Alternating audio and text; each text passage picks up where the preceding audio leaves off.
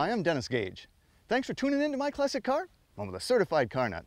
Well, this week we're in the very northwestern corner of Illinois in scenic Joe Daviess County, where I was born and raised, to visit Joe Spagnoli and check out a couple of his ultra-rare Oldsmobile Indy pace cars. Now, as the 70s waned, body sizes were still getting bigger, but performance was going the other direction big time.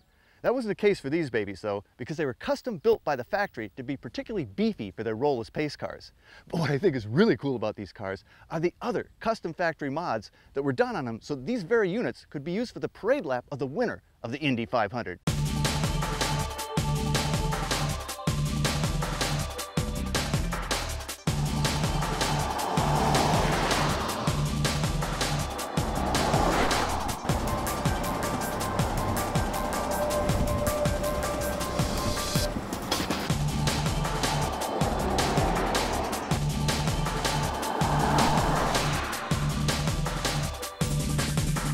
Joe, how you doing, man? I'm great. Beautiful day uh, down on the farm here. Yeah, another great day in Galena. Another great day. Boy, it is pretty out here. I do love it. It's, it's coming home for me. well, you got some wild cars here. Um, but this, this 77 Olds pace car is, w- when I saw a picture of this, you and I were talking, you have all these great cars and stuff, but this was arguably one of the funkiest cars you have. I mean, this was not really a great time for American automobiles. Late 70s, early 80s. It was sort of a dark time, both style and performance. Absolutely. But they, they built kind of an interesting car here. Well, they got the distinction of uh, getting to uh, getting to build the actual pace car for 1977. So the removable roof is quite unique to the car. Yeah, well, it, you know, kind of all around, this thing is it's, it's just it's a really different looking car, and and and this is the one that took the parade lap, right? Absolutely. We can prove that this is pace car number one because pace car number two is owned by the Indy Museum. And there are only Two. two. well, that would sort of narrow it down, wouldn't it? Absolutely. well, like you say, I mean, the funkiest thing about this car, and, and again, this this body, this they'd grown pretty big by then, and this was, you know, when you talk about your father's Oldsmobile, this is kind of what you were talking about in Yeah. body style and everything. Absolutely. But they really did something here in, in changing that whole look and feel with, with what they did in the roof. What, what all happened here? You take off that removable roof, it includes the back quarter sections of the windows, and it really obviously changes the whole look of the car. Makes it really pretty neat. Removable rear window. Somebody could sit up on the deck back there, rest their arms up on the spoiler to take their victory lap. It's actually uh, pretty great looking design with the Yeah, roof with the roof off, it is pretty good. I really kind of like it. And with even with this one, with the roof on, because it had that glass roof, you know, it made it kind of cool. And you could buy in '77, you could buy a replica pace car, Absolutely. but it didn't have any. I mean, it was solid roof, solid hard top. Back to only two. Back to only two. pretty uh, pretty funky, very '70s velour interior here too, Joe. Combination of deluxe cloth slash velour.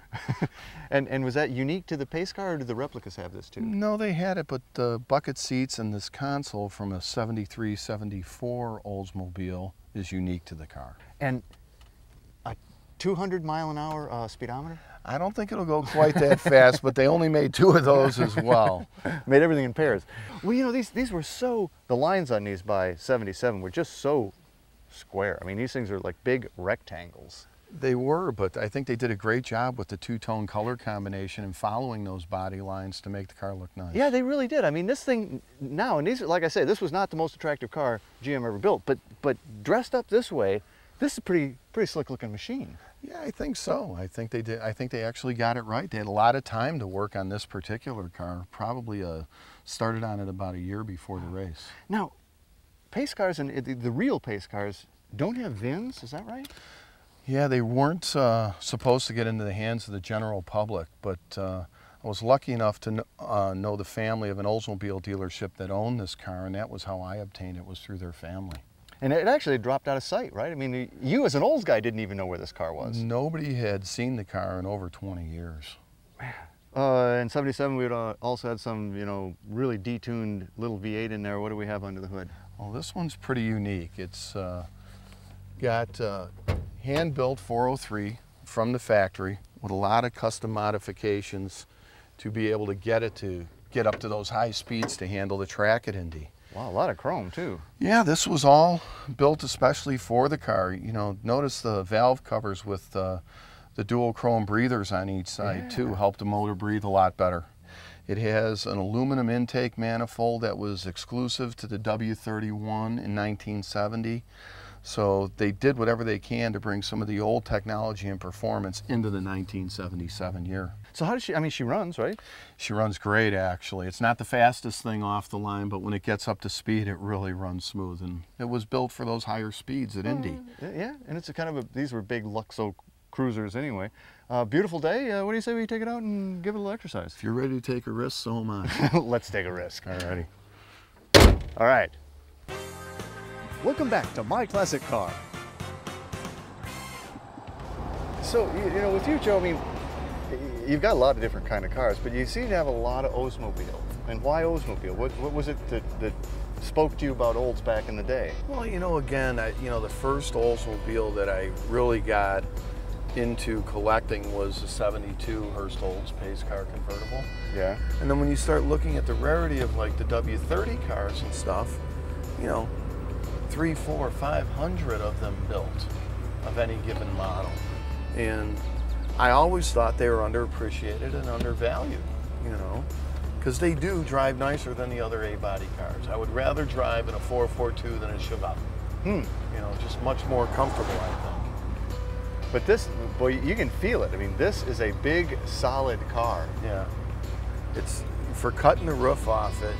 I'm really kind of surprised the car doesn't rattle more than it really does. Did they, did they do any underneath bracing? Oh yeah.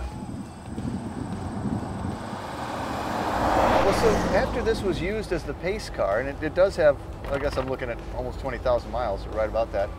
Um, I, I mean, those must have been sort of closet miles or something, though, because I never, I never saw pictures of this or, or anything. Yeah, like I said, it wasn't ever really supposed to be able to get into the hands of the public. And the family that owned the Oldsmobile dealership in the Chicagoland area had pretty much had it under wraps.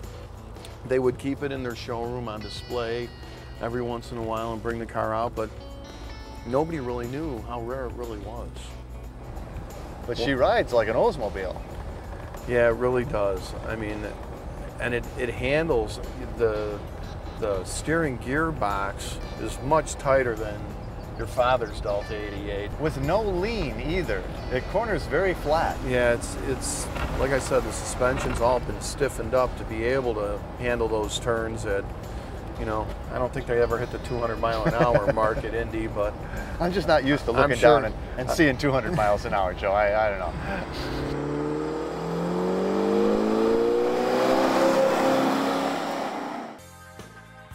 Welcome back to My Classic Car. Well, that was a pretty cool ride. That 77 is a, I mean, that is a funky looking car, and that gets some looks, doesn't it? oh, absolutely it does. But, uh, you know, this is another pretty unique car here, the 74. Uh, you know, when this thing was all capped up with the top on, it was, you know, a pretty good looking car. But man, you pull this off, the top's off of this, and this is just, there's nothing like this out there. Definitely the wow factor once you remove Yeah. the roof off it. Now, where'd you find this baby? Um, I was able to find this car uh, coming up for sale at auction. It was owned by an Oldsmobile dealer out of Massillon, Ohio, who was lucky enough to get it from Oldsmobile. And the car came up at uh, an auction down in Florida about oh, five, six years back, and I was lucky enough to be able to purchase the car there. Wow. Was she in this kind of shape? Exactly the way you see it, except about 30 years of dirt on it. Oh, We just had to clean it up really well. Pulled the interior out and just cleaned everything really well. But it's got the original carpet. Car's only got 14,000 original miles. So it's uh, it cleaned up really well, I think. Now, I like the louvered hood. That gives it a great look. Are, are those functional or are they? It's not functional, but it definitely throws a little bit of you know late 60s, early 70s muscle into the whole look of the car. Yeah.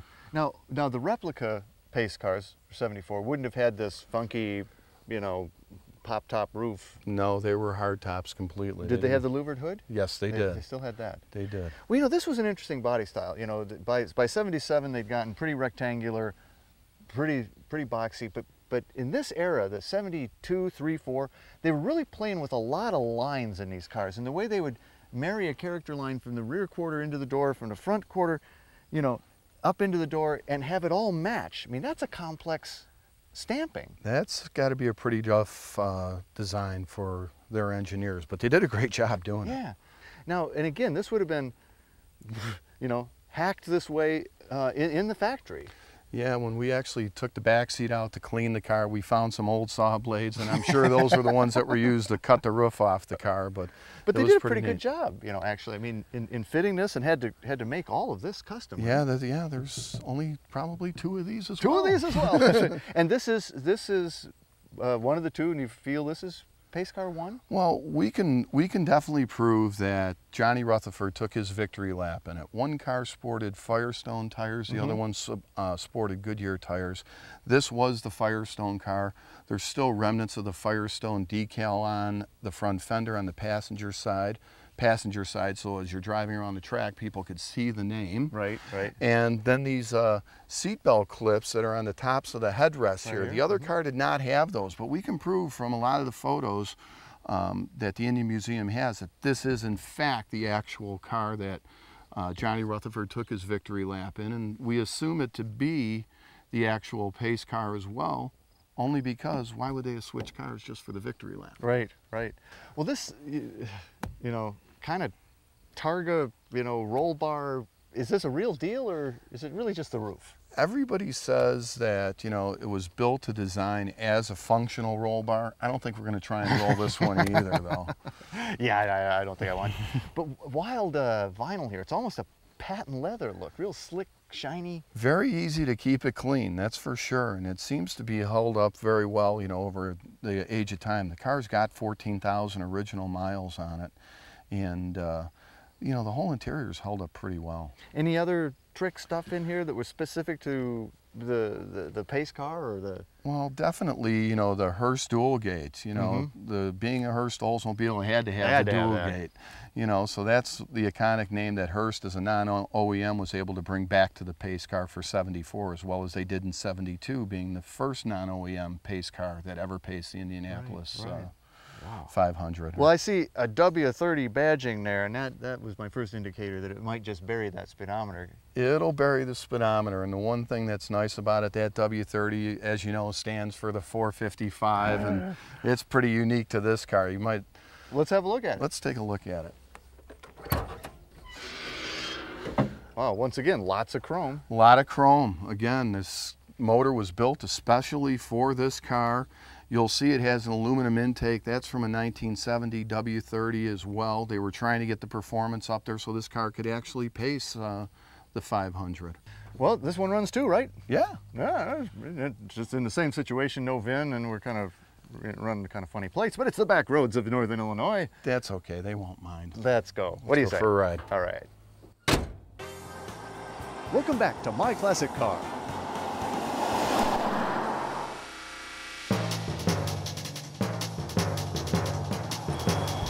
I'm surprised how quiet she is. But this one, I mean, it's it's got the power when you get on it.